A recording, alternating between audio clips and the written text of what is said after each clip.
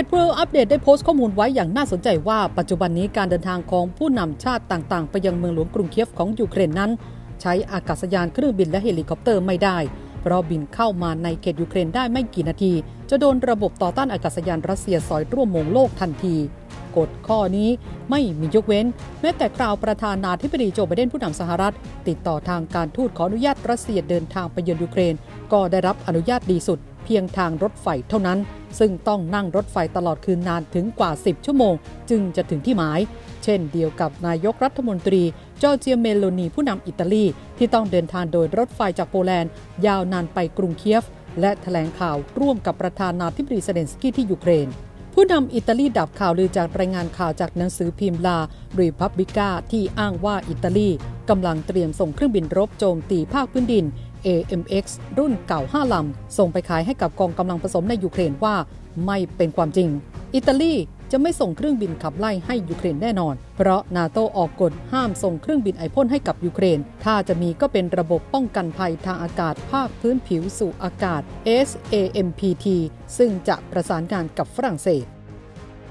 ในขณะที่ยูเครนขอเครื่องบินขับไล่จากชาตินาโต้ซ้ำแล้วซ้ำเล่าจนถึงขณะนี้ก็ยังไม่มีใครกล้าให้ มีแค่โปแลนด์และสโลวาเกียเสนอให้ส่ง MiG-29 รุ่นเก่าจากยุคโซเวียตในคลังอาวุธของตนเอง แต่ก็ได้แค่พูด เพราะมีสต็อกแค่ไม่เกิน 50ลำเท่านั้น สภาพไม่พร้อมรบ และไม่มีสำรอง ผู้นำยูเครนก็ยอมรับเสียงอ่อยว่า ผู้นำต่างประเทศ มีสิทธิ์ที่จะมีจุดยืนของตัวเอง รวมถึงอิตาลีที่ปฏิเสธจะจัดหาเครื่องบินไอพ่น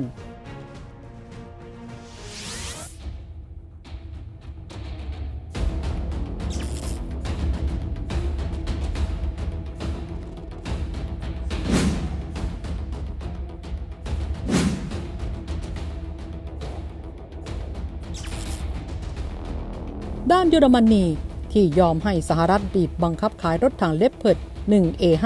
ส่งไปให้รัสเซียทำลายทิ้งให้เสียชื่อก่อนหลังฤดูหนาวนี้ เพื่อให้รถถัง Abrams สหรัฐรอดตัว เพราะมีกำหนดส่งของปีหน้านั้น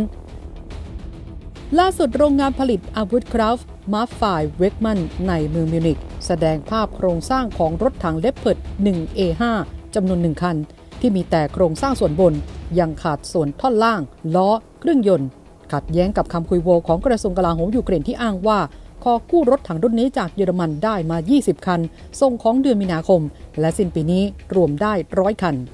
วิเคราะห์ดูแล้วว่า อย่าว่าแต่จำนวนแค่นี้เลย เพราะรัสเซียได้ทำลายรถถังของกองกำลังผสมไปแล้วมากถึง 7,979 คัน ก็ไม่ได้คุยโวอะไรรถถังยี่ห้อใดเมื่อถูกตรวจพบโดยโดรนสอดแนม ก็จะถูกยิงด้วยขีปนาวุธนำวิถีต่อต้านรถถังกรเนต ATGM สิ้นชื่อหมดทุกคัน รถถังเยอรมนีเพิ่งขึ้นโครงร่าง ส่วนเครื่องบินรบไอพ่นอิตาลีของบาย ไม่มีชาติใดในนาโต้กล้าส่งมาให้รัสเซียสอยเล่น คงเพราะลมมันเย็นนั่นเอง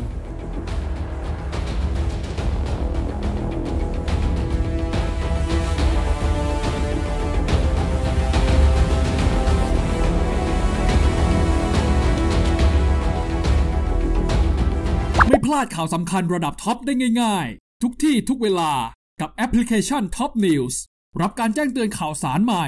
แชทคุยหน้าไลฟ์ได้ ดาวน์โหลดได้แล้ววันนี้ทั้ง App Store และ Play Store